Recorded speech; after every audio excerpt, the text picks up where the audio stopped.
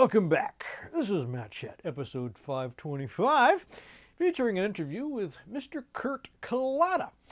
Uh, now, Kurt's a name you, you, you've probably seen that if you've been around for a while. He uh, founded the Hardcore Gaming uh, one-on-one site, uh, which is a go-to for many, many different kinds of games and series. Uh, he's also a prolific author, uh, most recently, and the main reason I want to have him on was to talk about his new book, The Guide to Japanese Role-Playing Games. It's absolutely fantastic. the, the PDF, the hardcover is on its way, but man, this is going to be a must-have resource if you're you want to uh, learn more about uh, JRPGs. He's done a lot more stuff than that. He's got books on graphic adventure games, a lot of console stuff, a lot of. Uh, he's working on a book about movie games, Metroidvania. He's just kind of a walking encyclopedia of games. Uh, anyway, I was really happy to have him on. Wanted to chat with him and meet him for, for a long time now. Uh, so, without further ado, here is Kurt Kalata. Yeah, this is. I'm really excited about this book, Kurt. Cool, cool. So yeah, I thought for some reason I was thinking it was just a hardcover book, but uh, yeah, apparently when I bought the hardcover, I guess that'll take a while to get to me. Oh yeah, it takes like I mean they come from the UK, so it takes about maybe a week or so. Oh, this is looking fantastic. I can I show a little bit of this book? Is that okay? Oh sure, I have a copy. Like I have to go run downstairs to get it. Oh, well, I got it up here. We could just make sure I'm not violating some kind of yeah. Yeah, copyright code. Yeah, this is uh this bitmap books, they do beautiful uh beautiful books. Oh yeah, yeah. Of course, you're no stranger to the book publishing world. Yeah. Oh yeah, this is so you, have you been hearing uh some feedback, some reviews, anything like that? People uh Yeah, people seem to really like it, which is good. I don't know. Have you ever seen my Dun- Dungeons and Desktops book? Yes. Um, I'd known about it a long time ago when I started working on the um the adventure game book. Oh yeah. Because at the time there weren't really many like genre histories. Uh so that was one of the only ones that I really knew about. And I have a copy of it because we were in a uh, story bundle together an, uh, a few years ago. Yeah, I mean, I, I think I know I've got a copy of your uh, adventure games book. Yeah. Must be in one of those bundles. I was looking. I thought I had a hardcover. yes, I see. you've got the same. Uh... yeah, this is what everybody wants to know, right? How do you define this? Yeah, I think I, I think I did a pretty good job. Do. In as much as like however many pages this ended up being. Are you hearing from people? I always hear from people that are like, "Well, you didn't cover this game, or you left off my favorite game." yeah, uh, we got a lot of them, but like it is, it's a big book. It's like 650 pages or so. Uh, and we covered all the major ones, like wow, 655 pages. Yeah, it is a lot of stuff. And I mean, there's there's some like borderliner games that ended up just having to get cut out because um, like, is it really an RPG? Well, kind of, but we ran out of room, so uh, they had to get cut. Um, yeah, I hear about that all the time. Yeah, that actually happened with one of uh Bitmap's books. They did a um about the art of adventure games. Yeah. And they left out Quest for Glory because um they were like, well, Quest for Glory is actually an RPG, so this isn't it doesn't really count. And of course everybody else is like, no, like it's a Sierra game. We think of it as an adventure game. So when they when they did a second printing, they added Quest for Glory in. Yeah, there's a lot of games like that that are just kind of hard to pin down into one category or genre. Yeah, yeah. Do you uh did you put Legend of Zelda as a role playing game? Yes, I was happy it was in there because the debated ones, right? Yeah, it's it's a very early one, but like I have a bunch of Japanese um guidebooks from the time, and they're like, yeah, Zelda's an RPG. Why not? Um, I'd rather just put it in there than not. I mean, but like the case for that I try to make for it is that it was an RPG at the time, but people's definition of what an RPG meant shifted over like and Zelda didn't really like advance and go with it, so um they tend to not think of it. But I think like especially the recent ones, um, you know, like Breath of the Wild and Tears of the Kingdom, like they are absolutely yeah, yeah definitely closer to the old days. And I mean Zelda 2 even has like experience points and stuff like that. I think it's yeah, just clearly an RPG. Zelda 2 is really closer. Yeah. Let me show the uh, store page for this. I don't know if there's other places they can buy it. You could tell me, but this seemed this is where I got it from. You can get it off of Amazon, but they're they're um it ends up being more expensive. I don't know why. Got a little red, little red bookmark there, little uh, ribbon. Oh yeah, yeah. They do a good job of printing this. Oh wow, I can't wait to get. I want this tomorrow. it's sleek. How does it taste? Yeah, they did a great shot with this. So this is all. Oh wow. Yeah, I know some people here are gonna be buying this. Mhm. Oh, you got ac action RPGs. Yeah, it's it's it broke it down into like uh like the main three or four um do you call it series and then kind of gets broken down into like oh this is like a standard what people think of when they think of a Japanese RPG and then you get down to action RPGs and monster collecting and strategy RPGs all the different subgenres and a little bit to uh the dungeon crawlers like the wizardry likes and the the roguelikes. Was this Pirates of the Caribbean down there?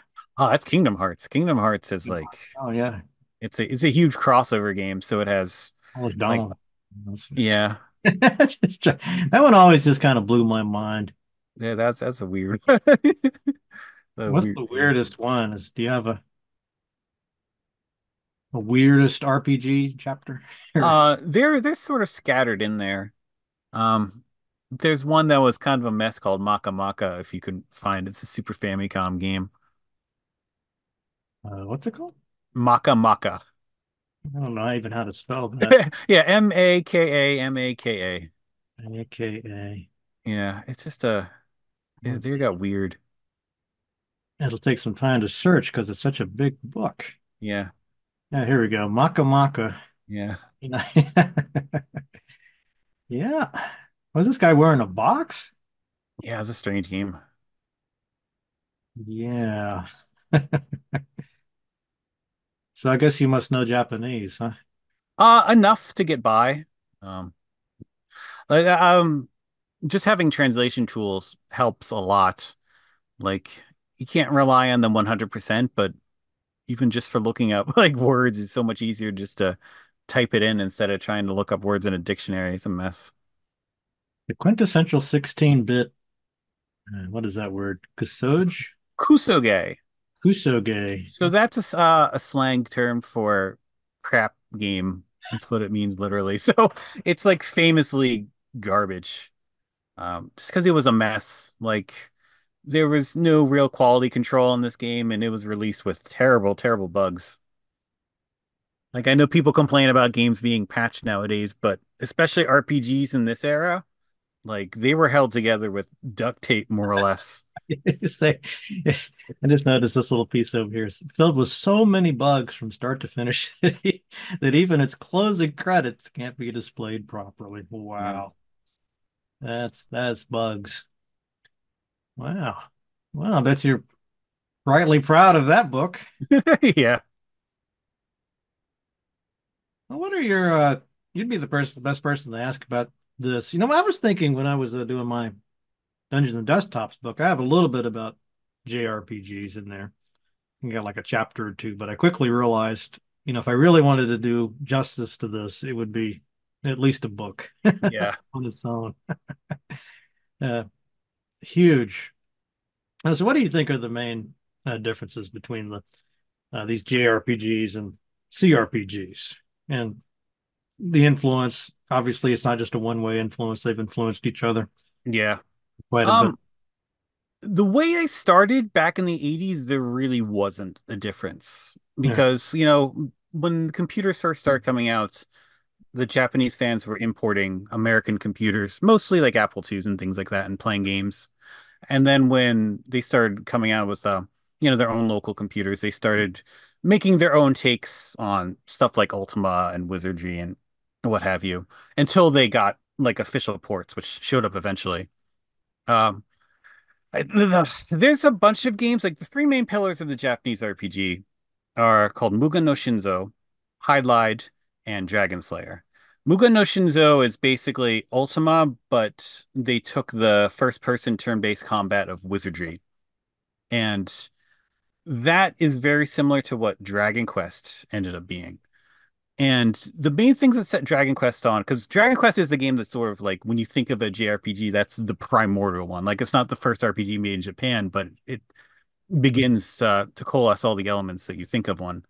Um, one of the bigs is usability. Since it was made for a Famicom, which only has like two buttons, four buttons if you can count start and select, it's very easy to play. It's intended for children. It's intended for like regular people. Um, like RPGs were almost always famously inscrutable to the point where a lot of them like needed like beyond an instruction manual, like a whole strategy guide to figure out. Um, with Dragon Quest, like they obviously sell strategy guides to help play it, um, but it's relatively easy to understand. Uh, the balance is relatively easy to understand. Like it's always a, um, you're always walking forward and getting stronger. Accessible. Yeah, accessible. That's uh the key for that one. And the other thing is just art design. Uh, Dragon Quest, the, the artwork and all the enemies and characters were designed by Akira Toriyama, who even at the time was one of the most popular manga authors in Japan. Like at the time, Dragon Ball was, you know, that on its own is just tremendously influential when it comes to manga and anime. But he was the guy, it's not even like the peak of his career, arguably, but he's his cover, his art is on the cover of that. You, you're beating up all the enemies, you're playing as his characters and that's usually what you think of like when you think of a Japanese manga style, something mm. like that. And Dragon Quest wasn't like incredibly popular right out the gates, but it did eventually, um, you know, just word of mouth and what have you. And to the point where like Dragon Quest 3 came out in I want to say 1987, that's when the fever pitch came in. Like, okay, this is selling tremendously. Uh, and so not only was that incredibly uh, successful for Enix and the developers of Dragon Quest, but that's also when the the clones started coming out and other similar type of games. Um, Final Fantasy also came out around the same time, but like that had been development before Dragon Quest 3 came out, so it wasn't, you know, it wasn't necessarily a clone of it. They were just working off the same ideas. That's 110 pages before you get to this. a lot of stuff came before. Wow. Oh yeah, that's all. That's all the, the early stuff. I think Falcom the Falcom chapter might have precluded this because Falcom was one of the companies that was really like in the ditches of early RPGs. Um, one of the games I mentioned before, as far as far as being the pillars, was a game called Dragon Slayer, and Dragon Slayer, I don't, I think was just kind of like a moderate success. But mm-hmm. um, the game that came after that was called Xanadu, and that was like for a long time one of the best selling PC games in Japan. Uh, because mostly because it was so inscrutable. Because back then, like creating a game, it's almost like a big puzzle. Because uh, you would go in a dungeon and you'd have to fight monsters, but it's very resource limited. So you would need to manage, um, you know, like your healing potions in your life because if you screwed up, then you would just get stuck and have to start over, reload a save game or something like that. Um, and again, that was really, really popular but yeah, that Falcom was huge into that. Um, some of their games actually did come out in America. Xanadu was um, there was a controversy with um, Richard Garriott. Oh, when, that's the one. With, yeah, I, I saw that. There's that other um that Ultima book, um, where there was a story that he visited their offices with the intention on maybe uh, licensing some of their games for America. And then he he saw that the in-game graphics, like they were traced over the manual art from one of the Ultima games. Okay. and uh, the story goes that he stormed out of the room. Um, I don't, I, I don't know how true that is. Like, I don't know why you would scupper a business deal over something which is like that, but yeah, who knows? I remember reading something like that too. Yeah. Yeah. Um, Addams book maybe. Or... Um, somewhat like Sorcerian. Sorcerian came out in America from Sierra because there was a brief period of time that they were licensing Japanese games. Um, they put out Silpheed. They Thexter. put out two Thexter titles. Thexter's great. Yeah, Zeliard was another one that they did, and there's another company that I don't know if they were owned by Broderbund or they were somehow associated with Broderbund that they put out a couple of uh, games too. Um, there's one game in there. I think it was under Cosmic Soldier or Psychic War uh, that came out in the U.S. Uh, there was one that I wish I didn't know it was an RPG until like relatively recently called Ybarm, and it is like very much a combination of Thexter and Xanadu. Huh. And I hadn't played it when I wrote the RPG book, but whenever we do a follow up, it's definitely going to have to go in there. Cool. So you could sort of transform like a Thexter game. Oh yeah, it's exactly like that. Um, it's not quite as difficult as Xanadu, but it is like you know you're in this big area that you can you fly around as uh fly around or change into like a human robot and zap enemies. Uh, but whenever you collide with an enemy, it goes to a separate screen and you need to beat up enemies there. That's a very um, Japanese RPG thing. Um, it is very level dependent. Like you have to beat enemies in a specific order to get stronger. Otherwise, you're just not going to get anywhere. Squashed. Yeah, I think so. That was the first category. Yeah. I think you said there were like three, right?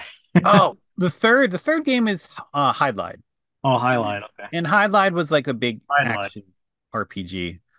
Um, and you can trace stuff like Zelda and Ys is the other series by Falcom that is more internationally known. Um, because it ended up on getting ported basically everywhere. Um, but yeah, that's Hydlide. That did come out for the Nintendo, and I remember having a really bad reputation when it was a kid. Like it got terrible reviews, but that's because it came out like several years after it originally did. It was the game that, you know, arguably inspired the original Legend of Zelda, but the Legend of Zelda is so much better in like every way. So Huh. that Hydlide's it just seemed really super basic. Um, but I think now that people are more more aware of the context around it, like okay, I I get why people like Hydlide now, stuff like that. I've always been intrigued by the way wizardry moved over there, and, and of course started started over here, I guess, with Sir-Tech. I've had some of those guys on. Yeah, that they really And like even some of those were surprised, like, wow, this series is still ongoing and it's real popular. Oh, yeah, recently there's a an OVA that I watched of it that was like um and I mean there's a they have their own role-playing stuff that came from Dungeons and Dragons. Like there's a like one of the really famous works of Japanese fantasy is Record of Lodoss War, which was basically just like some guys did a role-playing campaign of what was probably Dungeons and Dragons, but I don't necessarily know if they said it was Dungeons and Dragons for licensing reasons, but they might not have cared back then. Uh, but anyway, that's it's it's sort of how it becomes. It's basically an off-brand Dungeons and Dragons. Yeah, I always wondered how popular the Dungeons and Dragons game was over there in the early 80s. I think I'm not super knowledgeable about it. I know this is how they started. Yeah, they even mentioned it's a Dungeons and Dragons, and I know these guys they sort of made their own Oh, yeah. role-playing system, so they were able to sell it, and they were in, involved in some other games after this, and of course there were um, RPG conversions of this. Like Sword World RPG that they mentioned on there. That was, I want to say what what they created, Yeah, but it's it's fun. You can even see the influence of that now. Like this is one uh, Netflix anime called Delicious in Dungeon, and it is it is very much in that same line of uh, like a bunch of standard uh, like role playing classes go on an adventure in a dungeon. It's really cool. It never gets old. Yeah, the anime style is really, really striking in those. Um, Yeah, go uh, ahead. getting back to the original question, Yeah. yeah, uh, what separates them? We can- we As, as games became more advanced, then they started really having strong storylines, and there wasn't so much of that in the early days, just because of like disk space and ROM space.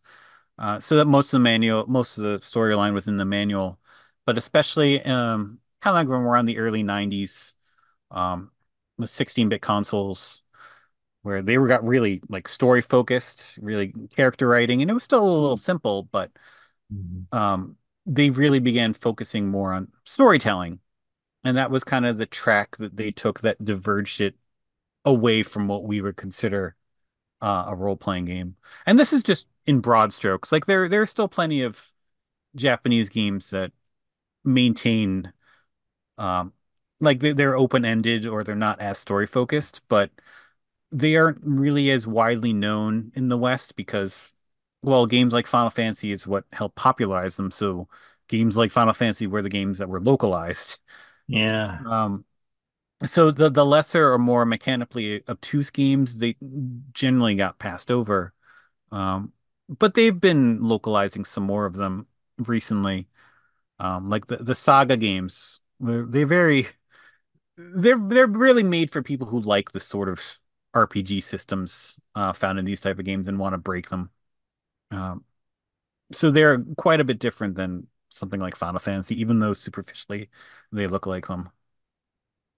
Yeah, I always thought that would be one of the great challenges of uh, of, of the, the localizing. I guess would be one of the big challenges with a lot of these games, right? Because you're trying to familiarize people with Yeah, maybe there's probably much different now because we've had anime for all these years and people. yeah, there's a lot- lot more cultural knowledge. It's I mean, there's a chapter on the book in that too. There's also technical issues Yeah, that came with um especially limited ROM space because these games like they they tended to be made for a Japanese audience and they were programmed with the intention that they would never be released in any other language but Japanese.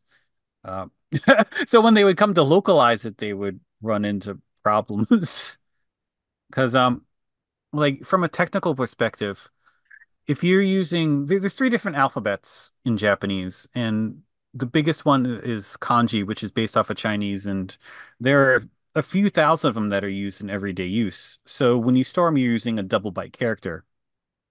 Um, whereas in English, you can use a single byte character. You can fit any alphabetical thing in like 256 bits, uh, bytes, sorry. a few. Um, but the problem is like unless somebody would go back and change the the text rendering from a double byte to a single byte, then you would have the English text take up so much more space. Because even though there's all these um you know thousands of symbols, you can Japanese is very compact. Like you can fit a lot into that space. Oh, okay. Um, so that was something like uh, fan translators and ROM hackers, they, they effectively have to reverse engineer these games because, you know, the source code from this is completely inaccessible. So they have to contend with that to get, it to fit. What what percentage would you say have been translated and localized? Uh, fan It's like vast. there's still a lot of them. I mean, I think at this point, a lot of the major like 8 and 16 bit games have probably been localized. But um when I say that, I mean like Famicom and Super Famicom. The PC Engine is sort of still like an unexplored frontier.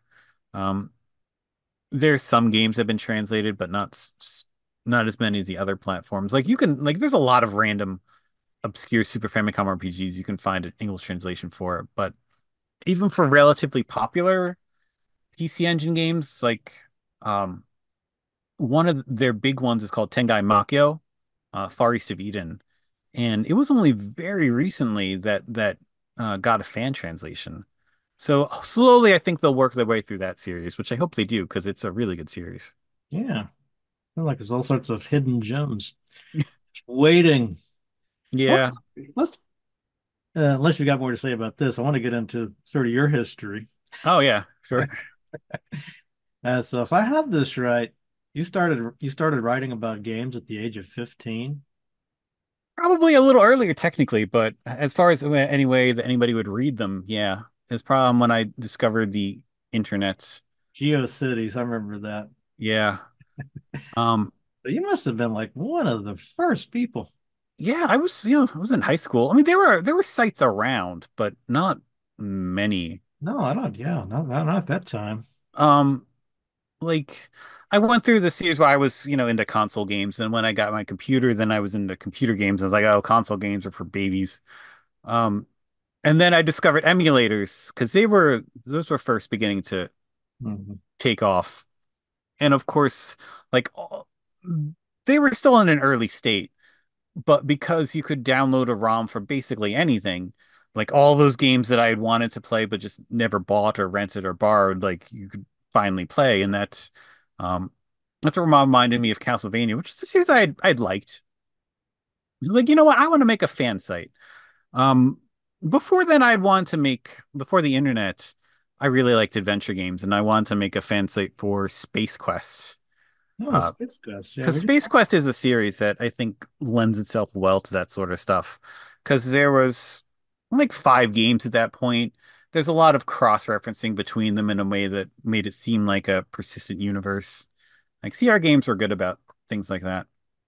But at that time, I was into console games, so it was between Castlevania, Contra, or Ninja Gaiden. I was like, ah, Castlevania's pretty cool. What was the the computer that you had? Oh, it's an old Compaq, uh, 48633 Okay. with 212 megs of hard drive space and four gig, four gigs, four megs of RAM. I just had the Space Quest historian on. Oh yeah, he's actually he's the one who created uh, at least one of the first Space Quest fan pages, right? Must have. Yeah. If he was doing it as early as you. You were this.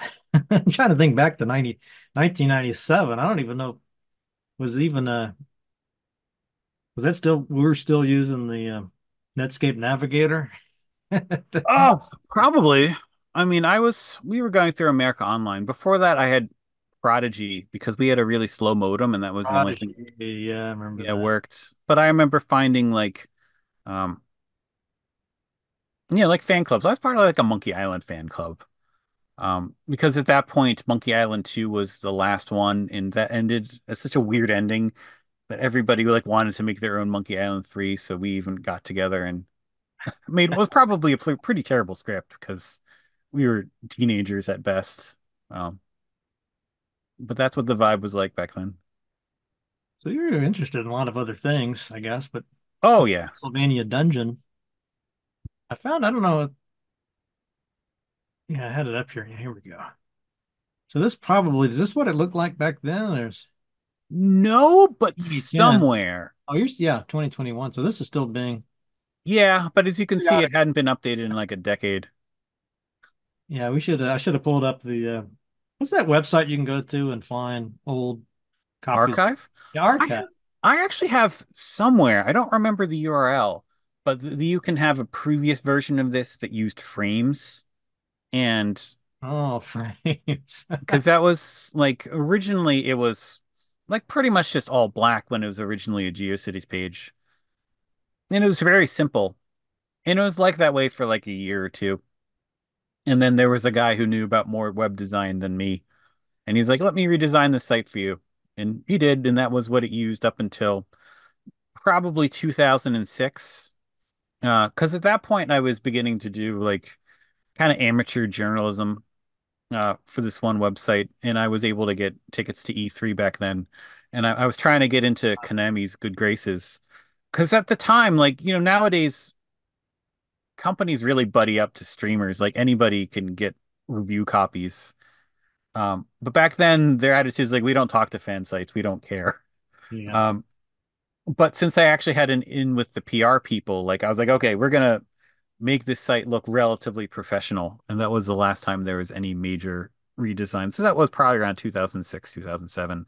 And that's how it's been ever since.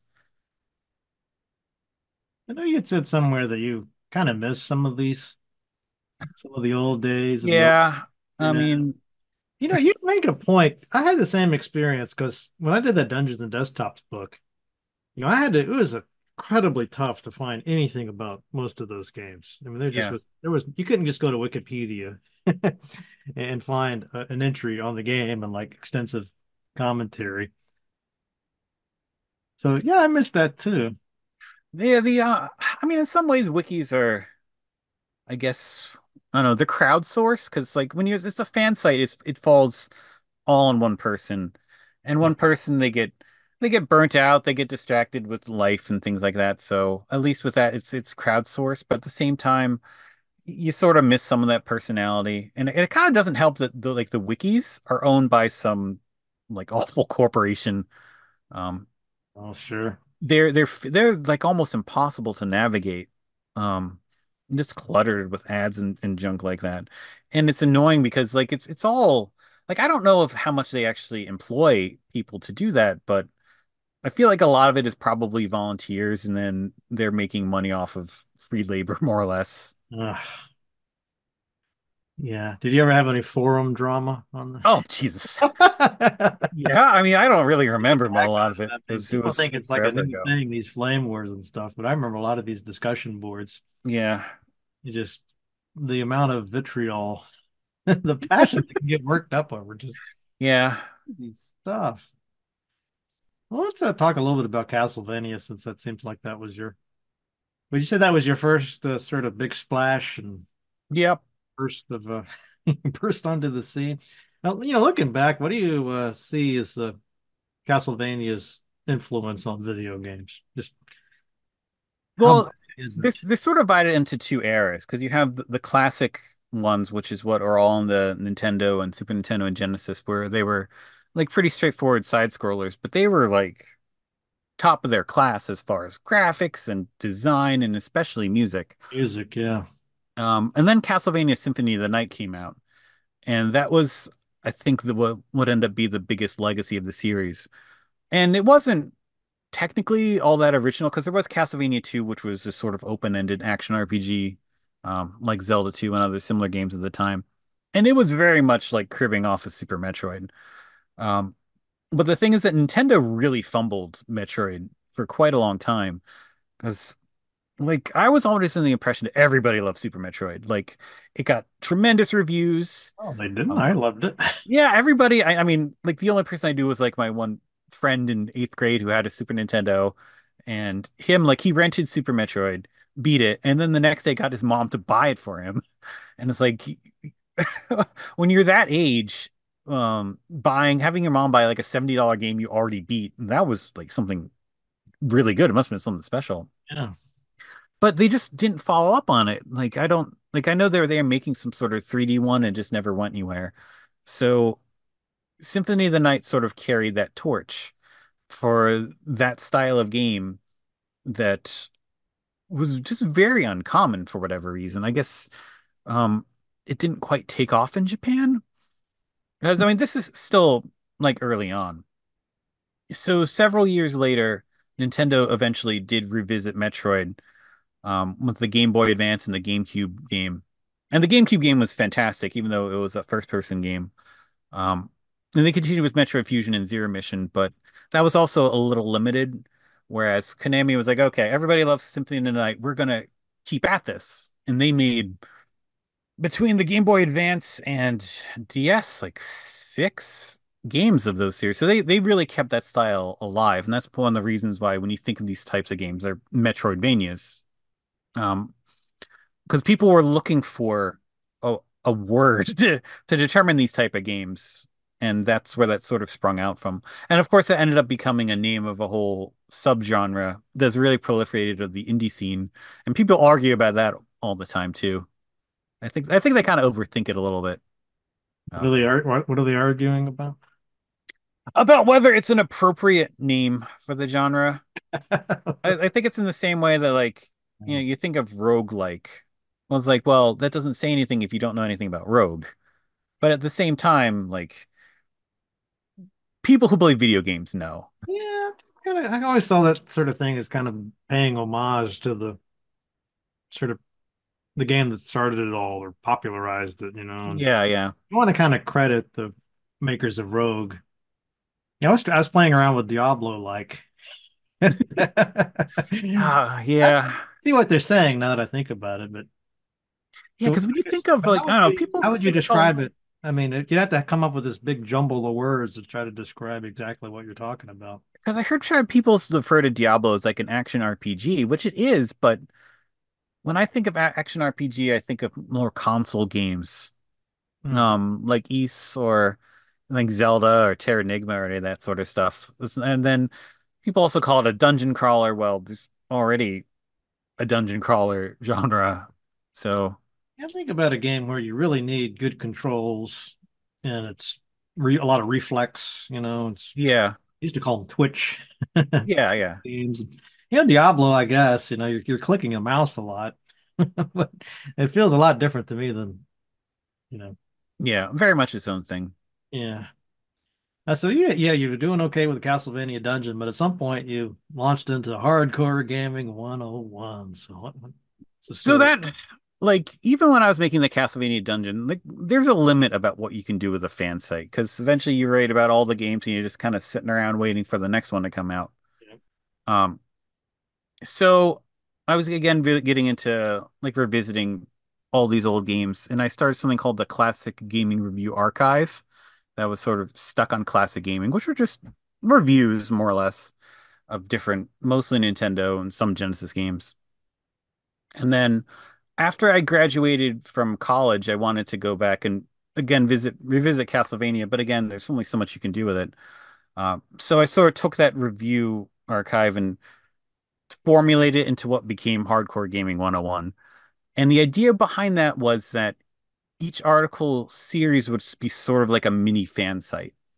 Because one of the the the first topics I covered was Alex Kidd.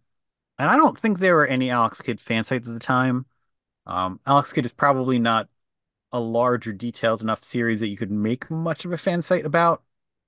But it's a series I still thought was really interesting as a game that I loved when I was like six years old. Um, so the idea is that you wouldn't um, you would just review everything together, and that way it would it would uh, contextualize every entry in the series. The re the reviews wouldn't necessarily need to be very long because you can establish everything about what it means at the beginning, and then each individual entry would just sort of build off of it. Like, okay, this is what is different, which is this is the same. This is what uh, evolved. And there were other series that ended up like that too. Um, I like finding a lot of hidden links that people didn't really know about at the time. Um, one of the first shoot 'em ups I played for the Sega Master System was a game called Power Strike, um, which I liked even though I wasn't very good at it. Oh. And then several years later, um, I played this game called Zanac for the Nintendo, which technically predated it. I'm like, this is the same game basically.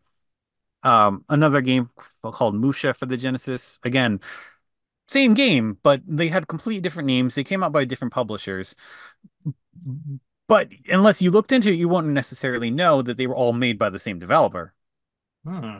Um, called Compile. And there's, I mean, you can see that series there. There's probably a dozen games that are all relatively similar, but because they came out by different publishers, they would have different names, even though they were like all part of the same series. Uh, so I would try to find connections and things like that. And even outside of just like games similar staff worked on, which was a little difficult to wade through because of the very erratic way that um, Japanese games were credited back then, if they were even credited at all. I understand there's a very different way they handle uh, developers and credits and like a very yeah. different culture when it comes to like this is my name on the game. You know, there's almost kind of a like, well, I, I don't want to emphasize my role too much. You know, I want to make sure everybody gets credit as I don't know. You, I want to hear your take on this because I'm just... a lot of it was just corporate stuff. Like they didn't want people to. I, I know the fear of that that they didn't want to get headhunted by other companies because like so much of it was so new at the time that if you had experience in something and you knew how to program, you know, the assembly code for this stuff, then you could be, you know, picked up by another company and there were really big rivalries and things like that. So that was a big one. But there's also subcontracted work too. Um, that they wouldn't necessarily just in their contract, they're like, okay, we said we made this game even though we really didn't.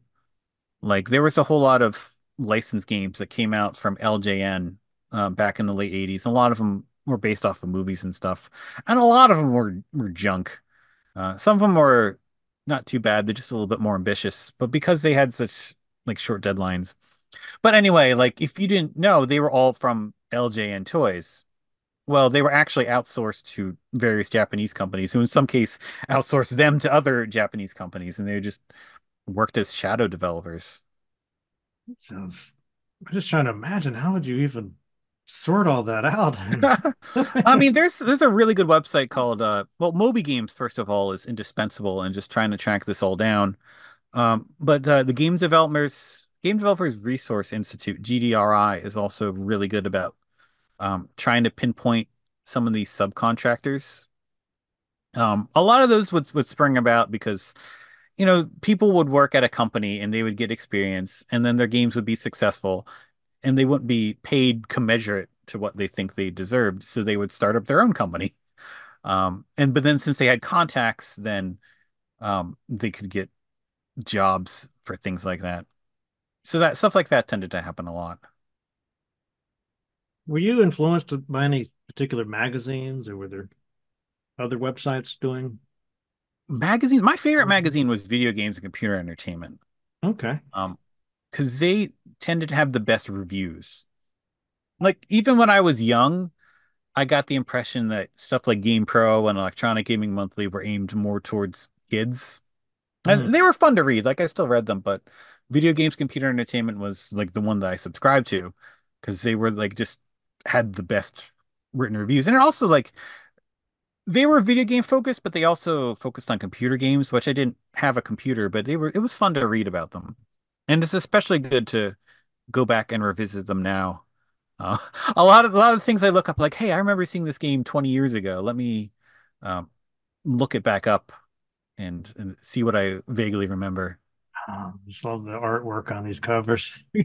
Yeah.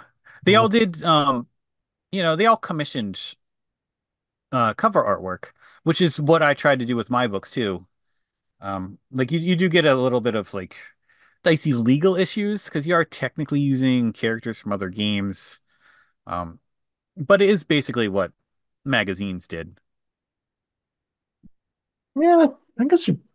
Yeah, see, yeah, I've never been clear on like what what is considered okay, what's fair use, what's. Yeah, I mean like the interiors are fine. I always heard the Nintendo's the one that'll come after you if you try to use their their characters, but I see their characters on all kinds of books, so Yeah, I mean they they don't really want to go after them because it just makes them look bad.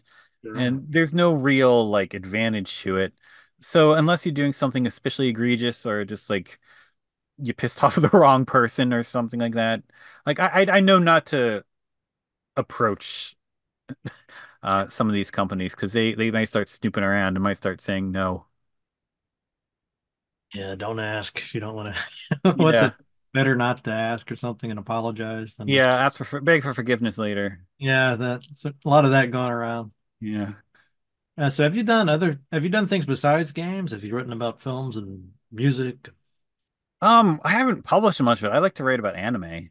Um, because again, it's related a lot in this field. Um, it was something I was really into high school, and then when I was in high school and college, sort of dropped away from for a while and sort of got back into it, especially with older stuff. Um, but it's it's it's all it all feeds in together, especially with Japanese developed stuff.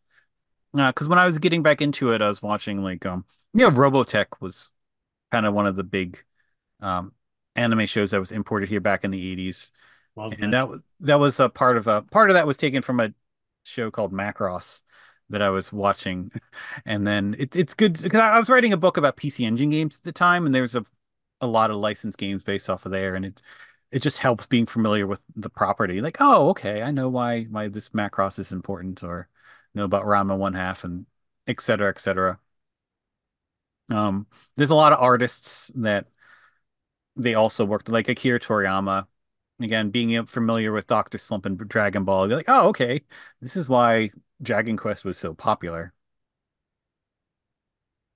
So you've obviously done a lot of writing. Oh yeah. Have you done lots of videos too, or what do you think about the Oh, I mean, it's the never very. content? Is it a It takes a lot of work. I mean, I did some for a little while, just like taking the articles um, on the site and just sort of doing voiceover with footage. yeah? Uh, and even like that was very simply produced, and it still took a lot of work. Um, I don't know if I'm necessarily the best presenter. I'm bad at reading scripts. I would just take forever just to do a voiceover and stuff like that. And there's just so much retro video game content out there that trying to make yourself stand apart. Like I have enough of an audience that I could tell them like this is this is the videos that I do. But just hearing people talk about like the cruelty of the algorithm about what it'll decide to show into people's feeds and like I don't I don't know if I want to deal with any of that stuff. Yeah, it's it's really I mean, that's such a good point. You know, I, always enjoyed writing. Yeah. My favorite thing to do, but you know, I've obviously been doing a lot of YouTube videos. I, I got interested in talking to uh, doing interviews with game developers, and I remember they'd always want to talk on the phone instead of write, you know, send emails back and forth. And Yeah. you know, I thought, well, if I'm going to do this, you know, maybe I could put the call online because people probably like to hear their voice. you know, You somehow know- more often doing these videos. Your your show came up recently when I was reading about this one game called uh, Majokko Daisakusen, which was made by the um, Toys for Bob. Oh yeah, yeah. That there's this a weird story because they were like, um, they wanted to get in contact with Bandai to do like a Gundam game, and they instead somehow found themselves making this really weird strategy game featuring all these magical girl characters from the 70s. And they like they had no idea who these characters were. The communication was just very, very bad. It's a very funny story. Yeah, I talked I got to talk to those guys. They were just starting their Skylanders. Oh wow, that was a while ago then, wasn't it? It was just I think they were in sort of the final phases of that. And you know, it's Yeah. fun fun to think back. You know, I caught them right before they really got rich and famous. I mean, I guess they were already famous, but Yeah. Well, I mean, they're like, you know, Yeah. nerd famous. They're like, oh, you, you're the guys that made Star Control 2. Let me buy you a beer. yeah, they're back to doing Star Control now. Oh yeah, I'm looking forward to that one too. Pretty fun stuff. Well, let's see. We've talked about Final Fantasy. That was uh yeah, I'd read you had talked to this little interview I was reading with about you. And you were talking about how you played Dragon Warrior and Final Fantasy, but that was really Final Fantasy was I guess the one you preferred Yeah. out of those. I mean, Final Fantasy Seven, of course, everybody knows how big big that game was. yeah. I don't know what. Can you put your finger on what what's that series so popular pretty much everywhere in the world, I guess? Uh, I mean, it's it's it's cool. Hard to find somebody that doesn't like it, you know, at least Yeah. Um, it has very interesting characters, they're very interesting storylines. Like they, they they have a very distinct, iconic look for them. Like a lot of video game series, they were known just for having like consistently excellent soundtracks. Um, because they change every entry, it ended up it's it's like a plus and a minus because each game is like mostly unrelated to each other. Um, is that it sometimes doesn't necessarily feel like each builds off of each other, but at the same time they make them very very distinct, um, in a way that attracts different fans because everybody has like there's no real consensus about what the best Final Fantasy game is. Like you have some vague vibes about, well, Final Fantasy six or seven is probably agreed to be one of the better ones, but when you get into it, like everybody loves their own thing, which I, everybody argues about it all the time too. But I, I think that's sort of have been fought. yeah, that, that sort of passion also helps keep the fan base alive.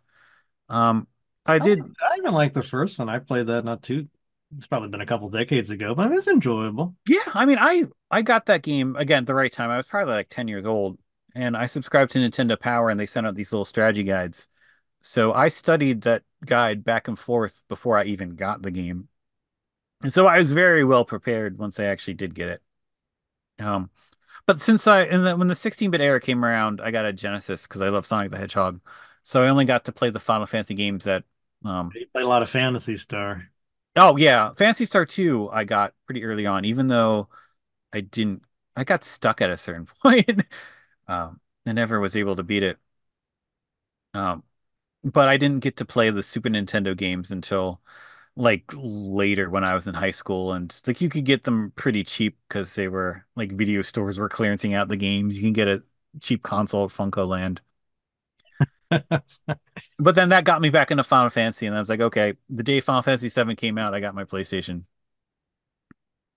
Um, but re recently on on one of the forums that I, I visit, uh, ResetEra, there was a, thread about uh, is Final Fantasy for old people, and it, it sort of got me thinking: is like Final Fantasy like it used to be the- Final Fantasy for old people? yeah, um, it used to be the big RPG series, but like it hasn't really had the same stature.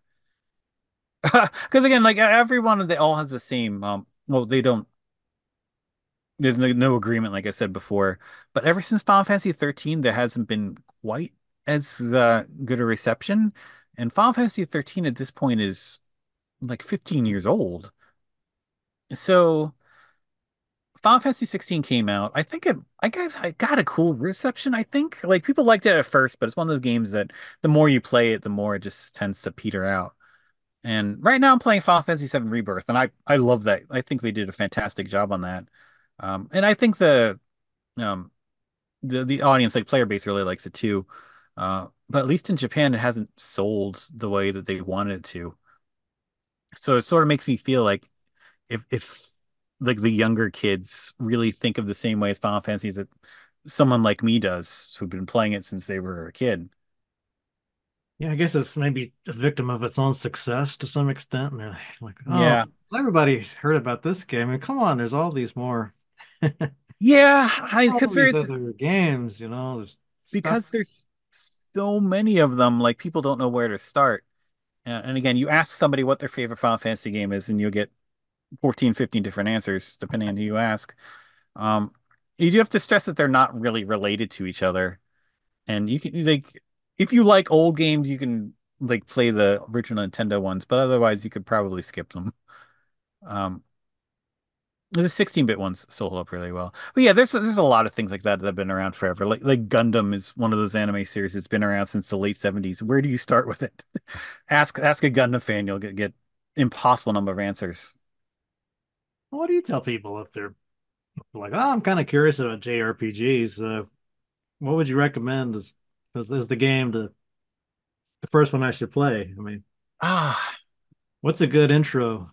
there is oh nowadays. I mean, I really like the Yakuza games. They sort of tended out to like a dragon. Um, like it's a series that's been around for a long time, but they were very like actiony. And in the more recent ones, they adopted like a turn-based battle system. So now it's like a a, a proper RPG. Uh, and they they have they very real worlds. Like it takes place in real world Japan and, and Hawaii. Um, it, it it walks this tough line between like really serious Yakuza drama and just really goofy video gaming nonsense. Um, it, it, it walks that boundary in a way that I haven't really Hmm. uh, thought like like a lot of games are like that. Like I like stuff that takes itself gravely seriously, but also is very silly. Um, uh, yeah, I mean, that. there's a like. I remember talking to one of my friends from college, and I was really surprised that she was into Elden Ring, because she isn't somebody who like normally plays like a lot of video games. When you think of Elden Ring, that's like a From Software game. Uh, that's like for the people who really get into like systems and punishment and stuff like that. But you know, she really dug it. Hmm. Um, my wife really loves Persona 5. Like she played through that game like twice. That's a good, I think, starting point because they're they're super stylish. They're easy to understand. They have cool storylines and just it's really cool presentation. Um, I'm always hesitant because those games, even the Yakuza games, they can be real time sinks. Like it, it'd take like a hundred hours to get through Persona 5. Um, Well, and if it's depending on 100 good hours, or yeah, is I mean, yeah, there's some pacing issues with stuff like Persona. That's why like I sort of burn out on them after a while. And you know, when I was like in school, you can justify that, but as an adult, it's a little hard to find the time. Um, Not exactly a resume builder, yeah, but yeah, I, I've I hear people talk about this. You know, this that game is so addictive. You should you should stay away from it. But I'm always thinking, well, if it's addictive, it must also be fun. You know? most of the time, but sometimes like you, you fall into a game and then you're like, I wasted an entire day playing this and I don't feel anything. Oh, uh, Those are those are the bad ones, but you know, do you find more people asking you about retro games versus modern stuff? I mean, is there yeah, because I mostly there's tend a lot more interest? Just my, from my point of view, it feels like there's this huge interest now in retro stuff. Yeah, that, that's good because sometimes I, I get I don't know what it's like for you. What what is it? I get a little self-aware, like, oh no, what if all this this writing I've done over my entire life is just going to be forgotten because because people are just going to start caring about Fortnite and Roblox and everybody's going to forget. So I, I have those existential crises every now and again. Um, I think though that people are generally curious about this stuff, which is good because it's it's continued to stay for keep alive for so long, and I hope it continues to stay alive. Yeah, especially with a site like yours, because everybody's got that that game they fell in love with and still play, and then they, to find out that oh look, there's other people that you know are Yeah. writing about this. I mean, it's such a treat.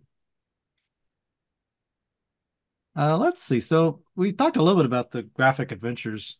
I wanted to show the uh, the book. I think it's uh Well, here we go. So, yeah, here's the Amazon page. Yeah. So there's lots of them. I'm going to try. Yeah, here it is. Yep. This is the one I have. Yeah, that was the very first one I did. So this came out in 2011. So how'd this book do? Uh, pretty well. It continues to sell like pretty well because I don't think there's a, really a whole lot like it. Um, the closest one is again, Bitmap did a book about uh, graphic adventure Oh. games. Just noticed that that chicken with a pulley. Yeah, yeah. I still have the the chicken somewhere. Yeah, the Max is in my uh Day of the Tentacle. daughter's um like plushie.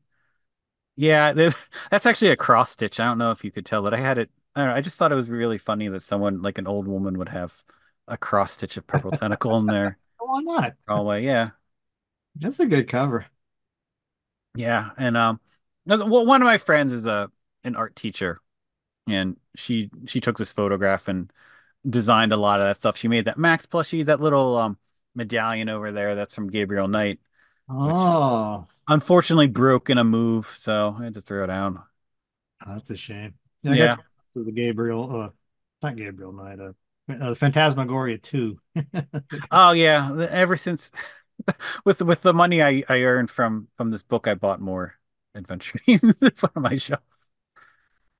Oh, these are some great. So this is probably is that your first love or second love? Uh, Oh man, I don't even know. Um, it certainly ranks up there. I I've I have pretty broad interest in this sort of stuff. Um,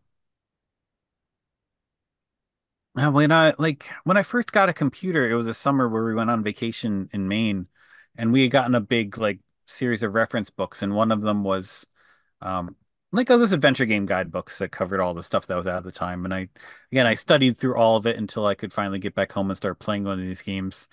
And I sort of thought, well, what if there was a book that was like this, but instead of being strategy guides, it was about reviews. Uh, so that's how that, that sort of came together. yeah, this one thing I always loved about that genre is you can finish it.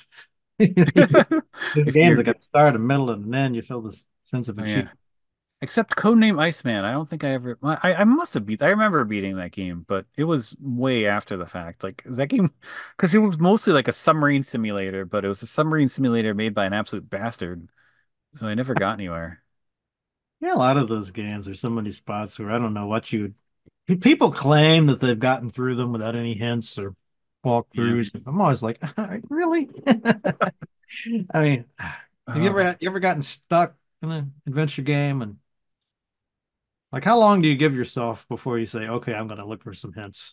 Oh, uh, I mean, nowadays I'll be like, ah, five minutes, and then I'm off to Google. Um, but we uh, our site's podcast, we're gonna talk about Leisure Suit Larry 7 tomorrow. And it, it's just fun to futz around and see what you can figure out. But other things are just like, I would have never thought of that. And that's one of the better design games too.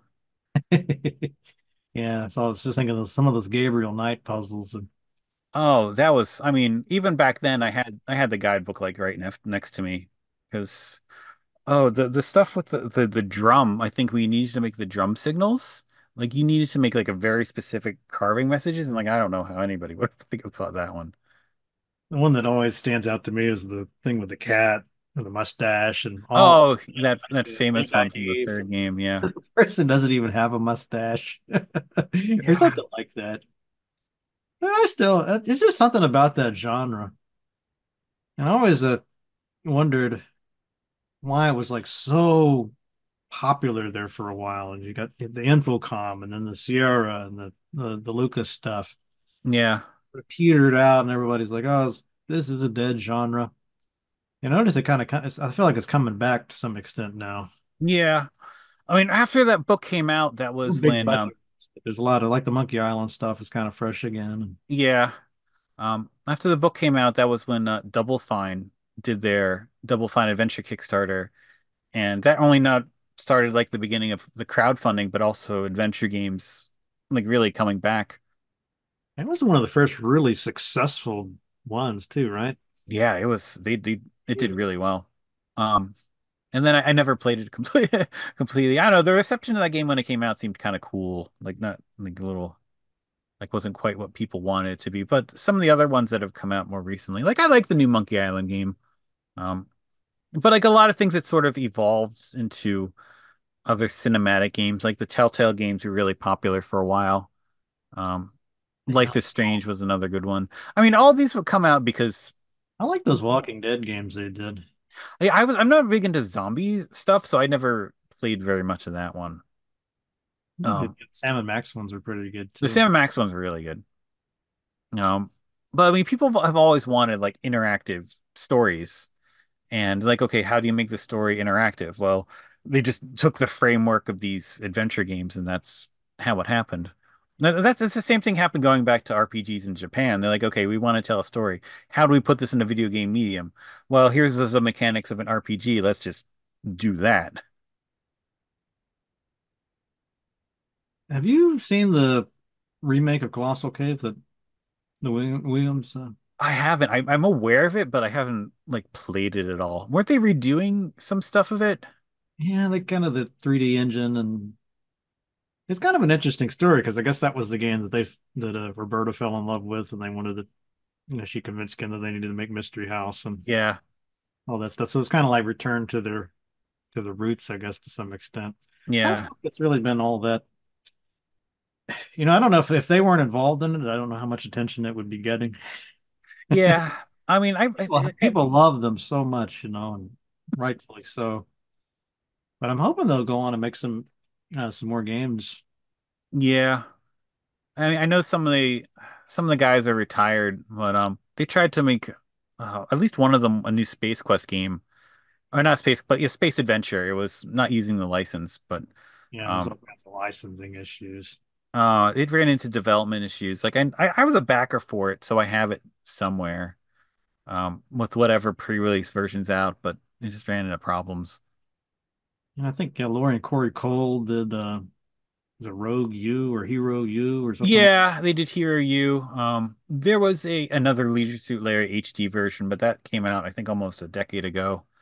And then some, I want to say German company, they actually bought the license for that. and They've been did yeah. Interesting. Like uh in, in Germany, Germany loves adventure games. Like there's a fan-made Zak McKracken game. Um, I want to say there's uh someone officially licenses a couple Simon the Sorcerer games. There's a new Simon the Sorcerer made by somebody. I don't know where it's coming from because it was a long time ago I read about it. A little bit spicy, shall we say? Yeah. Yeah, I love that Zak McKracken game too. The the, the whole tabloid theme. Yeah. It was just so much fun. I have all that stuff. Like it's all, I mean, you can't see it because there's off off the camera, but Yeah, I don't know if I'd want to be making a Leisure Suit Larry game. I mean, how, how could you even do it? Would it even make it to the shelf and or make it, uh, would it be banned from Steam? there actually was uh, some sort of issue where I think when it, because you can put anything on, it's really all that, you know, X-rated or anything, but it really isn't there, but like on Steam, I don't think you need an ESRB rating because they don't require that for digital stuff. that style of humor work.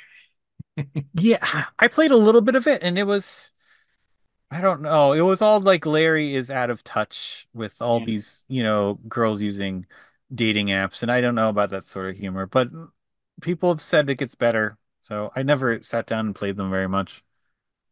We'll see. Maybe somebody watching this can, can fill us in. But Yeah. yeah, they actually uh, when it came out on the Switch, there was some sort of thing where they had to go back and censor something because it was in violation of ESRB ratings. Uh, I wonder what that could be. Yeah, I don't I don't remember what it was. Interesting. I'm, I'm curious about that. Okay. Uh, do you, you know, since you, would you, I guess you're kind of, you've done a lot of computer stuff and console stuff. I've always been more focused on the computer, Yeah. computer side of it. Do you think there's more, do you think it's the case that the console stuff is still, there's a bigger audience there? I think so, just on the basis that more people have played it. Um, more people have the nostalgia for it, and therefore they're more likely to be curious about it. Um, I mean, my again, I was big into PC gaming in the 90s, so that's where a lot of my interest in it lies, particularly on adventure games. Um, but I also like remember old like strategy games and stuff like that. Like I dug out, I only played the first Heroes of Might and Magic when I was a kid. Uh, but of course, there's I don't even know how many there are now. I only got up to the third one because people seem to say that that's the best one. I think it is. I went back and played it fairly recently, and yeah, it's still it's still a lot of fun. Yeah, I'm trying to dig into memories about like Master of Orion and those sort of 4X games that I played back then. You ever play Um, XCOM? I, oh, I got my ass kicked by XCOM. One of my friends was able to beat that game, and I still don't know how he was able to do it. Like, I, I was never able to make any actual progress. Like, I think you get to the point where, like, okay, you started capturing aliens, and then you marginally got better tech, and then they would just come out with even better tech and just kill everybody. But I I had fun playing that anyway. finished the old ones. I really like the newer ones. I played um At least a new one of those. the first one, the one that came out on the Xbox 360. Uh, and the other ones I have, but I just never sat down with them. Not out of disinterest, but just because, Something about those, they just suck me in. Yeah. You know, there's certain genres or whatever, I guess, that just grab some people. No, Like your friend with the yeah, I mean, I'd like to do. I'm I'm sort of working on a side project that's focusing on on 90s PC games. Um, say more. so I'm hoping that there would be an interest in that sort of stuff, like beyond, because they have um Bitmap already has. They have a book on CRPGs. They have a series of books on first-person shooters, Yeah, and I think that's first what. I'm. all anybody seems to want to talk about, but you know, there's tons of other stuff. There is a, a whole ton of other stuff. Um, I'm just kind of going through and formulate exactly what was in this. Like, there's so many bazillion of like strategy games, um, that seem to be kind of forgotten. Like, you can still get them on GOG and stuff like that, but I don't know if people really talk about them. Like, I I, I still have some of like the old PC Gamer magazines, and there's a lot of stuff that just like forgotten and nobody cares about. Like, there's bazillion flight simulators. There was a bazillion war games that came out around that time. Like, I don't like uh, the the the the flight sims sold themselves on being very technically advanced, and obviously it's not in the case like 30 years later. I think you'd probably just play Flight Simulator if you wanted something like that. I always like Red Baron. Yeah, I mean like TIE Fighter. yeah, Um, and TIE Fighters. TIE Fighter was the big one, and you know Wing Commander. Uh, I think those are the the easy to understand Talking about like the Microsoft Flight Simulator, the real yeah, like uh Jane's there was somebody I'm part of one of those Facebook pages that has like old um big boxes and stuff like that. And there's somebody that had this whole big shelf of those Jane's fight simulators. I had no idea there were even that many of them. And like I I'm not really big into that sort of stuff. I just remember playing a demo of one of them a long time ago. But yeah, that's it's just weird how that stuff gets forgotten.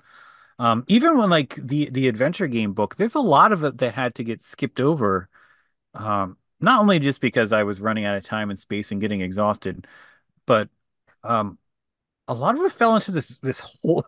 I don't know what to call it, like a Windows hole, because at the time it was like 2009, 2010. It was probably running Windows XP or something like that.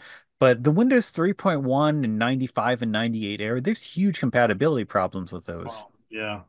And nowadays, if there's an old game, I'll just boot up like a PC emulator and play it through there. And sometimes it doesn't always run very well, but like trying to get some of those games are a little dodgy. Even stuff I buy off of GOG or Steam, they don't always work right.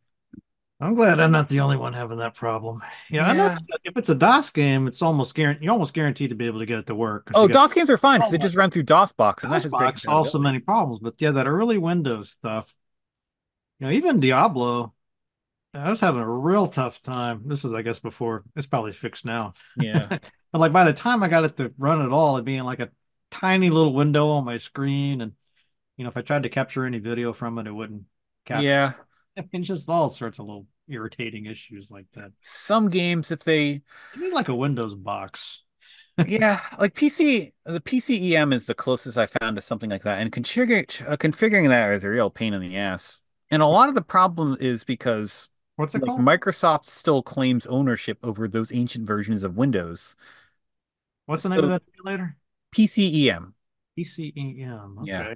Should check that out. Um, that's just mostly like yeah, sometimes a game, if you get it off of GOG, it doesn't work.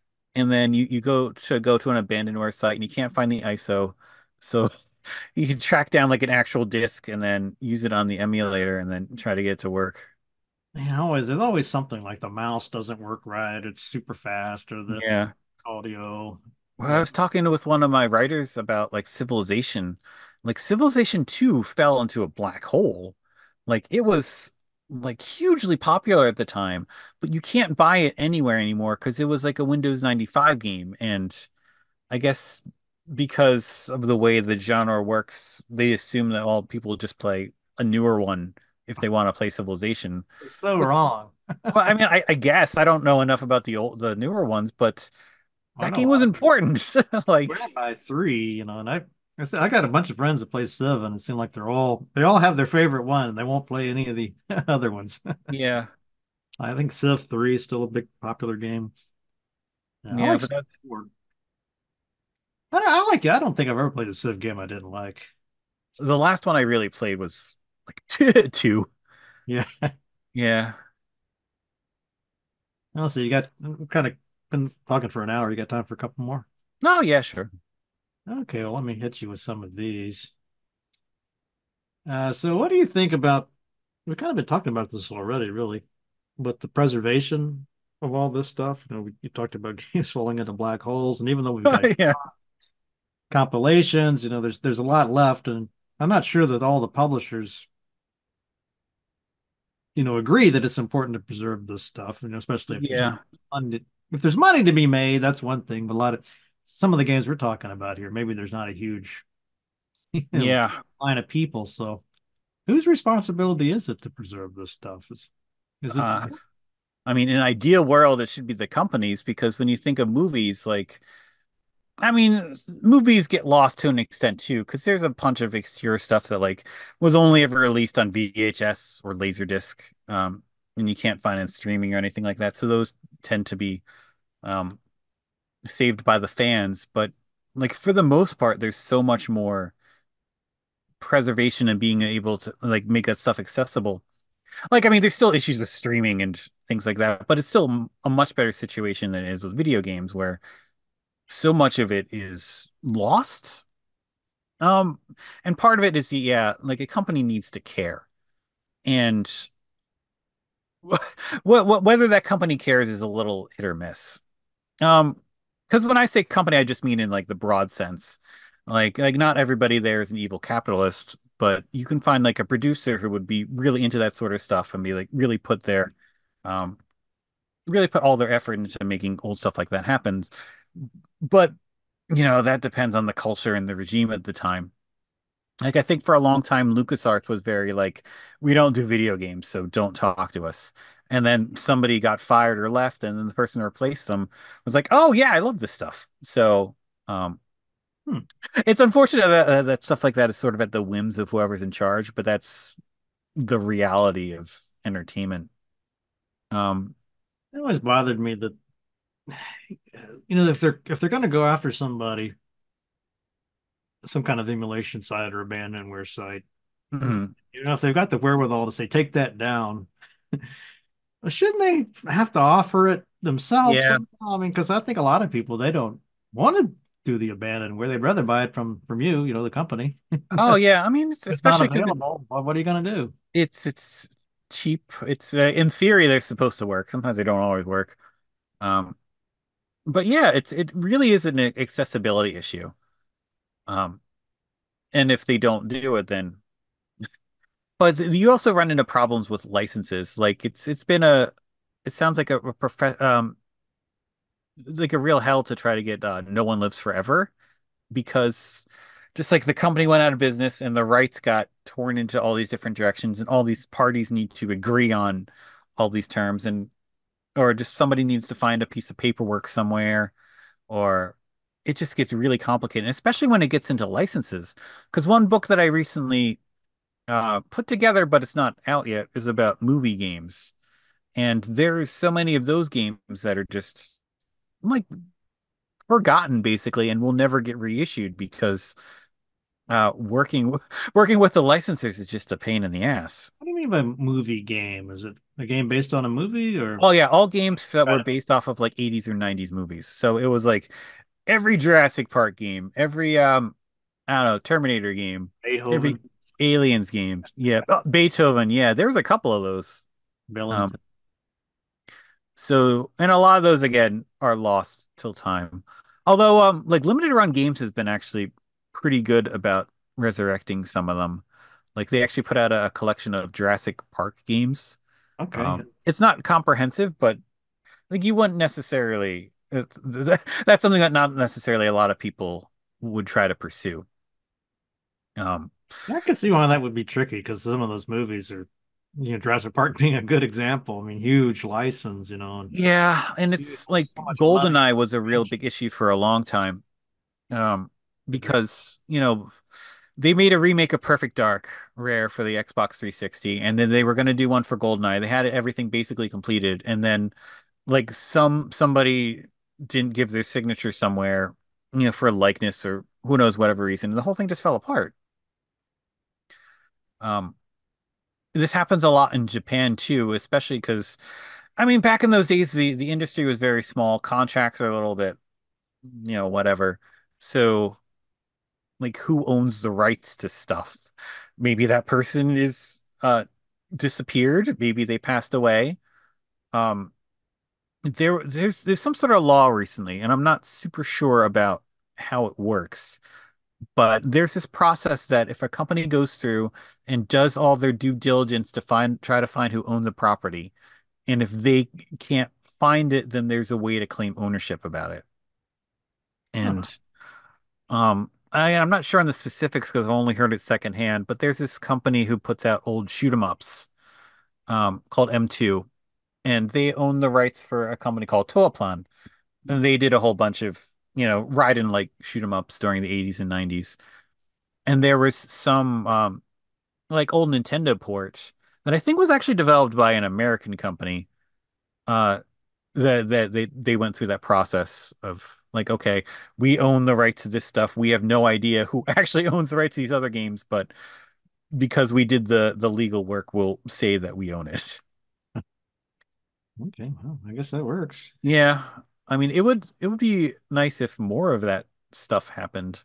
But even in Japan, you find, you know, you hear interviews of producers and stuff like, we tried to get the rights to this game, but we just couldn't do it. Um, and, and in that case, it just falls to like regular people to pirate it. Yeah, I've heard a lot of uh, developers have worked on the games too, and they might want to, you know, their fans have been saying, we want to remake, we want this and that. And even they have no idea. Like, I don't know who has the rights to this. Yeah. It would cost, or, or maybe it's a question of it. It costs so much money to get the license. You know, it'd be the wouldn't have enough money left over to develop the game. Yeah. Just the the legwork required. Uh, well, kind of uh, related to that, uh, I don't know if you've been keeping track in the, of the news about all the layoffs in the industry and It's No. bad, yeah. crisis. You know, it's just and the whole AI thing. You know, is kind of looming out there, and just seem like there's endless controversies, Yeah. endless. Uh, I don't even know how to describe some of it. Uh, wha- I'm kind of curious what your take is. You, do you think it's as bad as all that, and what what, what can people do about it? Is there anything to be done? Oh, I, I I'm completely unqualified to answer like that. As, like, you know, I've never actually worked for a video game company. I, I've worked like tangentially with other stuff and hear things, but not enough to say like, how do you fix this problem? Yeah, maybe there's Um, a solution. You know, it does seem like the fan base is kind of, you know, the way they're responding to things it probably isn't helping. Uh, I mean, hits come from the weirdest places, like like that that Palworld game, just like it's an explosive hit. Do you think anybody ever anticipated that? Probably not. Um, like the weirdest games people uh attach themselves to, and it isn't always predictable. Um, so I mean, you you see like a big money person, like, okay, if we're going to spend hundreds of millions of dollars on a game, we want to make sure it's as broad as possible. But then if those games fall out of fashion or they just the the, the even the break even point is so high that they'll just never reach it. I think Square Enix had that problem for a while with some of its Eidos games. Like I don't remember the numbers, but games like uh Deus Ex and Tomb Raider just like the expectations they had for these games were just wildly beyond what you think they could actually sell. And maybe that was just they created those expectations because their budget was too high. No, I mean, who knows? Yeah, I've heard a lot of developers they talk about, you know, on the one hand, it's great that we've got so many games, and I mean, everybody's got Steam libraries these days with probably 10,000 more games than they'll ever play. Oh yeah. Out in the world, you get noticed, and you know, if, if AI is going to start pumping out games, I mean, it's gonna be like anything AI. Like they might put it out, but it'll be bad, and and people can tell that it's bad. I like to think so. All right, well, I got one last question here from Miko. Okay. What do you think about the recent trends of remaking and remastering old games? Uh, it's good because it makes them available again. Um, I do wish sometimes that they would pay attention to the history of the game a little bit more in that it, it's nice to like, you know, add in like widescreen graphics and stuff like that, or, or just update the textures and things. Uh, I, I do wish that some place would, would keep an original mode, and some places would do. Like like Nightdive, almost all the stuff they do is like chef's kiss. Like uh like Dark Forces, they put a lot of work into like making it really look good. But even me, because I'm an old weirdo, like I still put it in like the VGA mode because that's how I remember playing it. Um, yeah, I do wish stuff like that would happen more. Um, I know it's, they do tend to get a little pricey because that was 30 bucks, which was I think a little bit, especially if you consider like a lot of other first person shooters you get on GOG is like six, seven dollars. But they also put a lot of work into it. And it's a licensed game and there's a lot sort of stuff with it.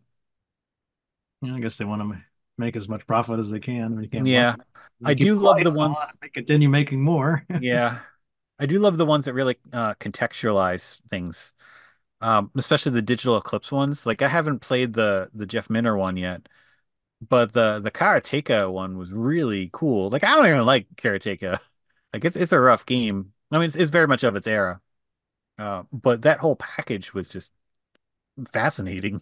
Yeah, we are just talking about Last Express came up in something. Oh yeah, since since Jordan Mechner seems to do a lot of that stuff, you know. That was maybe, a labor of love there. I don't know. You... maybe we'll we'll get that. It, it, would be cool to see that again. Can you get that on? That's probably on GOG, right? Or one of those. Last Express. I've never been able to. Oh no, I, I stand corrected. Yeah. Well, let me see. Is it on GOG? You're wanting to know? Yeah. I mean, when I played it, I probably just yeah, it is on. Well, let me just sometimes sometimes you find it, you think you found it. No, it's here. Yeah, six dollars. Yeah, like when I was doing the the adventure game book was before it was right as GOG was first getting started. It was right as Steam was. I mean, Steam had been around for a while, but it was um just starting to pick up steam. this um, game, the art style on this always just blew my mind. Yeah, it was really cool. So sort of got its own style. But I was actually buying CDs off of eBay back then. I still have a ton of them on the shelves or in my attic. Yeah. You have to make sure you get a computer that still has the CD or DVD ROM on it. yeah. I mean, I, I bought like when I went to go buy my new computer a couple years ago, I was like, what do you mean they don't have CD-ROM drives on computers anymore? they, they I look at me like I'm an old person. Like, you would you like a floppy drive with that? Like, yeah, actually I would. Yeah, I really wish instead of I would always sell my old computer to buy the new, you know, buy the new computer. I really wish now I'd kept all of them because there's certain yeah. games I'm sure the easiest thing to do would be just to play it on the old machine. I was asking one of my friends. I got a, a at a garage sale like a Windows XP computer, and I was like, could you run like MS DOS or early Windows on those? Like, is there anything from a technical perspective that was stopping you? Like, if I wanted to turn it into like a retro rig. Probably not the right person to ask. Yeah, I mean, I'm just kind of wondering out, out loud is something like that. I don't see why you, you couldn't. Yeah. I mean, I do remember there was a short period of time. Those are like, uh, maybe it would have something to do with the processor. Yeah, I mean, as long as they're still 32-bit, I think it should be okay. But yeah, there, there's a period of time where um, it was right after Windows like became a proper operating system because you know the earlier versions of Windows were basically just fancy GUIs for DOS and it was either 95 or 98 that was like okay we're, we're a real operating system now but that ended up causing problems for certain dos games because i remember in, in college around 2000 2001 i was like i really want to play star control 2 again and it just wouldn't work on modern hardware, even if you exited into DOS. So I actually I bought a 3DO off of eBay and and got a copy of the 3DO version of the game and played it that way. Um, Was it good good experience? Oh yeah. I mean, I'd always wanted to play that because like I had a friend of a friend that had a 3DO and Star Control 2, and that version they added a lot of stuff to it. It's like fully voiced dialogue. They redid some of the music. They did some of the graphics. So that was really cool. And then of course they they wrapped that version back into like the Ur-Quan Masters that you can get for free. So like I was able you can play on your cell phone. Spathi. Yeah. Well, man, we used to have a ball with that game. have a bunch of friends over, just play Star Control. Combat. I would bring it to the college game nights, and of course, like nobody knew what Star Control was, but you know they'd get into the you know the melee, super melee battles, and just have a blast. Yeah, it's fun, fun stuff. I still use some of those little musical ditties. you know, when you beat, when yeah. you beat a little tune. I always love those. Hey, Kurt, thanks for taking the time to chat with me, man. Oh, of course. You said you got a new book, or your movie book might. What's the status on that? It's coming out soon, or? I actually have no idea. I need to follow up with the, the publisher because a lot of the stuff I, I self-publish and that, that to my collection. Yeah, when when it's it's done, I just hit the button and it's it's out. Uh, but with a publisher, it just it, it takes time because they have to check it, they have to print it, and all that sort of stuff. Is that going to be Bitmap books as well? Oh uh, no, it's actually uh, be published by Press Run. Okay. Um, they're they're a, a part of Limited Run Games that uh, they started publishing books recently. Huh. I'm really looking forward to getting my copy of A Guide to Japanese Role Playing. Yep. so, okay. Well, thanks again, uh, Kurt. It's been fun. Hope have, hopefully uh, when that book comes out, maybe I can have you back on. I hope talk about games. Oh, of course, yeah. All right. Well, have a good one. Thanks again. All right. Good chatting with you.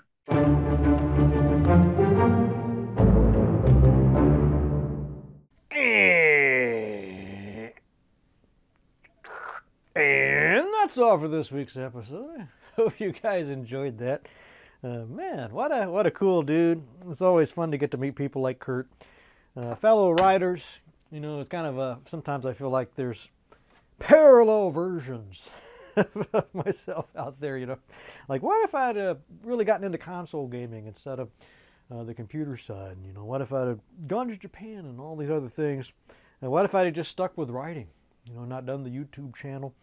You know, who knows? It's fun uh, to think about those things, those what if scenarios, right? Well, uh, I'll tell you one thing. Uh, uh we wouldn't have this channel. it would be no Matt Chat uh, without people like you. Because I guess at some point you thought, what if we didn't have Matt Chat? No, I don't even want to think about that. I want to go to that link in the show notes to the Patreon page, and I wanted to become a Ratron the real deal. I want to slay rats with Matt. uh, so, uh, if you want to be as cool as people like the Fixed Land and Will, you will uh, join us over on Discord and on the Patreon site. You know, a lot of people think, uh, they don't realize, I guess, that it's uh, maybe you're thinking it's like an inconvenient thing, it'll be expensive or something like that. Uh, it's really nothing to it. It's just a couple of clicks on a mouse and a couple of bucks a month. You're not even going to miss it. Uh, and you'll be supporting the show and you'll earn my uh, gratitude and thanks, my uh, eternal and sincere thanks for keeping uh, me and this show going for so long. So uh, thank you to everyone who has supported the show. And if you haven't done so yet, please do. Could really, really use your help, especially now. Uh, okay, well, did I forget something? uh, what about that news from the Man Cave?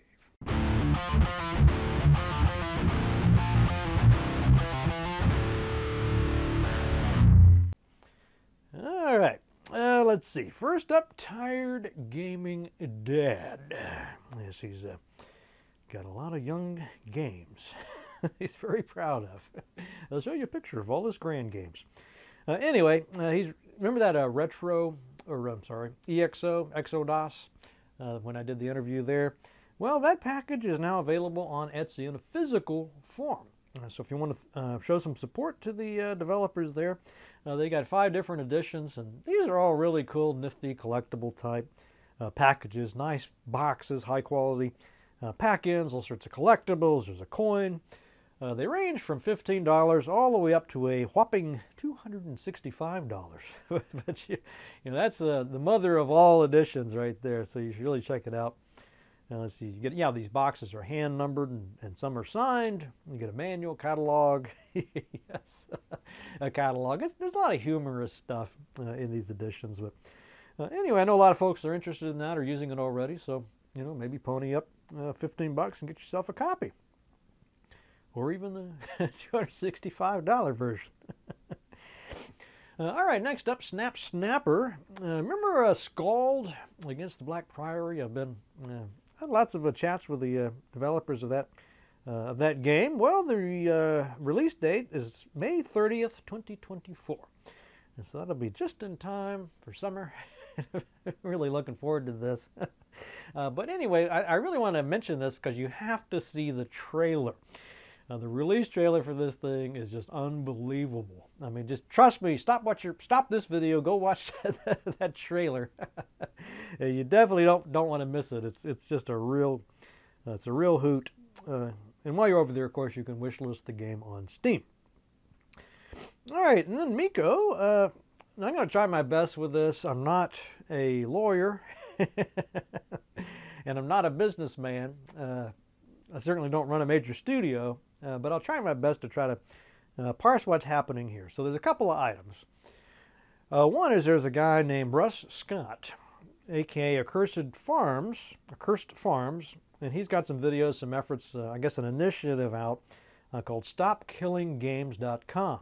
And what Russ is concerned about are these games that you buy uh, and you don't really own it per se, legally, whatever, with the EULA. Uh, instead, a company runs the, the servers for the game, uh, and then what happens sometimes is when that uh, ceases to be profitable, uh, the publisher stops supporting the game and suddenly you can't play it. so, you know, it literally kills the game off and they don't, uh, they're not, there's no, uh, I guess, procedures in place to migrate those servers to some kind of free service or fan provided service. So, uh, it is a problem, you know, when you buy a game uh, thinking that you own it and thinking that you'll be able to play it whenever you like, uh, just to find one day uh, that, oh, this game no longer supported, you know, no refund, uh, just sorry, that sort of thing. Uh, so anyway, you can go to stopkillinggames.com to learn more about this. and then Miko had posited this other story about Blizzard uh, so Blizzard has a new EULA. Just EULA. I remember when games didn't have this crap.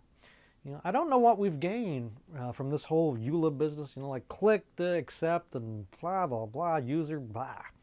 Just always hated it. I guess I'm again clearly not a lawyer. I guess it serves some useful purpose, but uh, I just find it anno annoying. I always feel like they're trying to get one over on me somehow with all that fine print as it appears here. So apparently in the fine print of this, uh, Blizzard EULA, it says you only license and rent all the Blizzard content and you have to go through something called arbitration with every legal claim.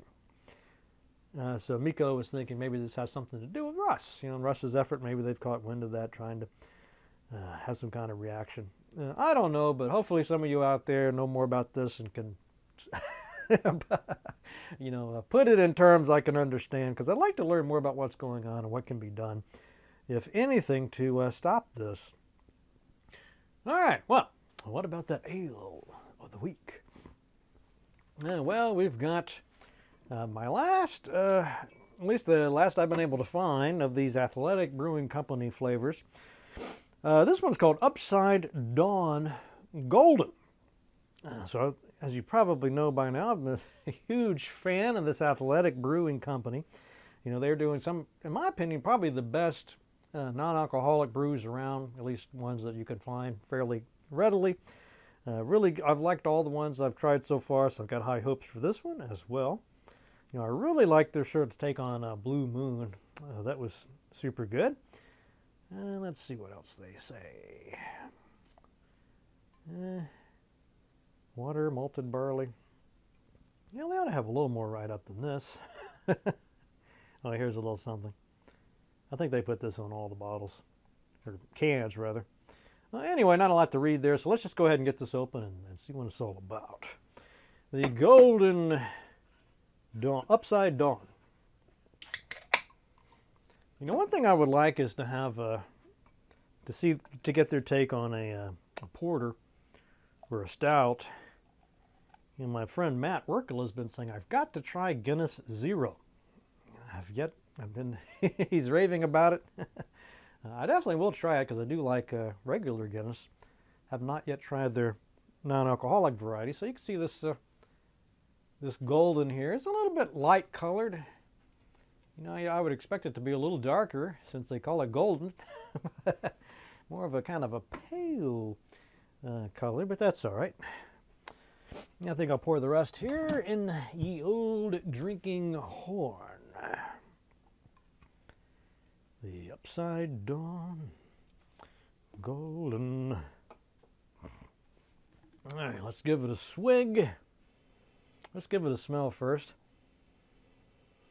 Uh, fairly hoppy. You know, this isn't supposed to be an IPA, so I'd be surprised if it was super hoppy. You know, that'd be kind of mislabeling, but uh, you could smell some hops in this. You could smell the malts uh, as well. I know some of you uh, folks are telling me you, you hate anything hoppy.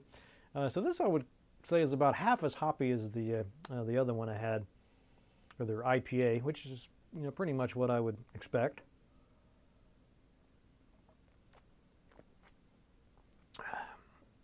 Wow, once again, just, you can't go wrong with these these athletics. I, I need to have these guys on the show. I mean, I don't know how they did this. I'm gonna try it again here. Yeah, just really, really good. Um, you know, again, it's not an IPA. It's, a, it's supposed to be a golden. Uh, so kind of a moderate uh, flavor profile on this. Again, not hoppy, not bitter. I don't really know. I don't drink a whole lot of beers in this style, so I don't have a whole lot of stuff to compare it to, but you know, it's definitely good. Uh, and once again, I'm convinced if I didn't tell you up front this was non-alcoholic and just poured you this beer and said try it, uh, I don't think you would know. I'll try the from the glass. It's just amazing to me. It just tastes like a you know good quality uh, a good quality beer here. You know, again, not my favorite style of beer. You know, I tend to like an IPA or uh, I really like those um, know, the white ales or the Belgian styles. Uh, but you know, just every now and then you just kind of want a regular beer without a whole lot of uh, exotic flavors or anything. Uh, so I think this would fit the bill.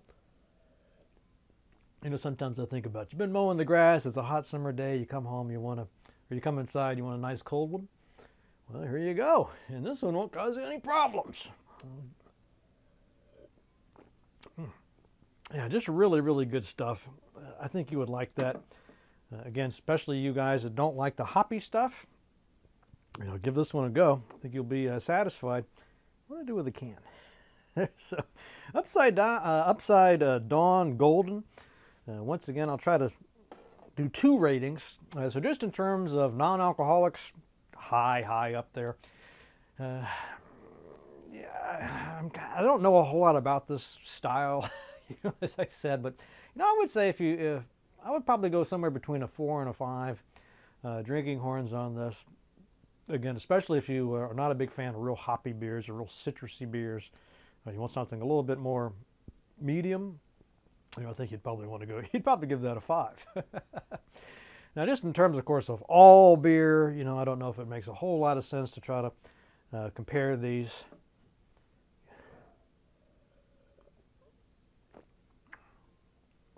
You know, I guess out of if I was just rating it just with all other beers I've tried, I'd probably go like a uh, probably a three, uh, three out of five on this.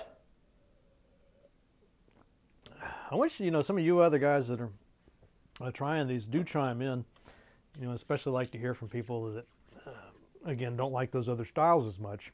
You know, like to get your take on that. Uh, but anyway, I like it. I don't think you'd be disappointed with it, so definitely pick it up if you get a chance. Know, I'm kind of surprised that um, uh, more restaurants aren't offering non-alcoholic brews.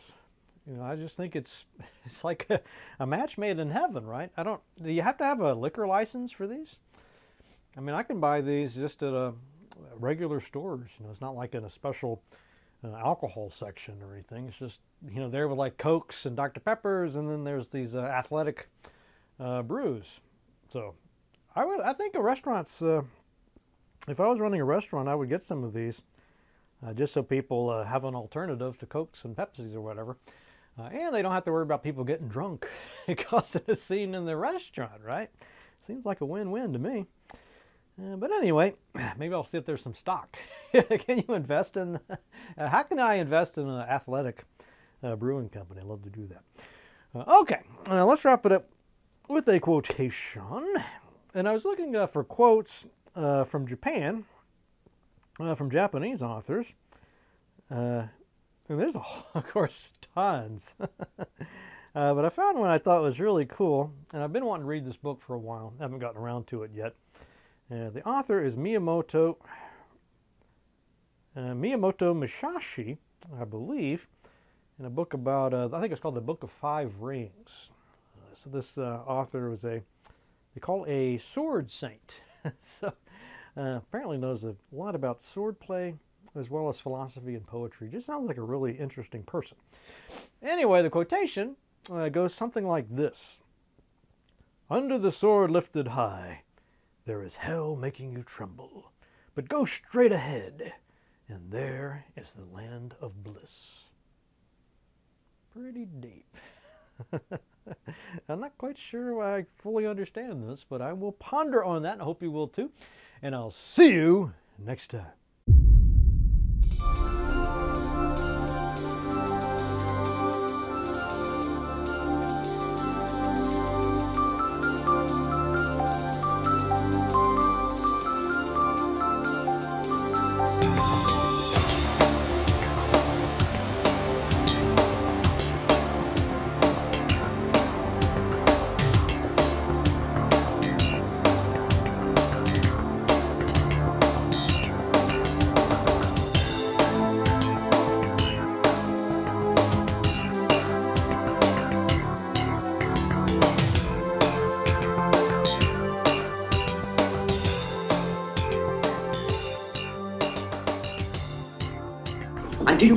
Combinations together without even thinking, until you learn how to keep moving and to endure, hire a bodyguard or lead a less aggressive life.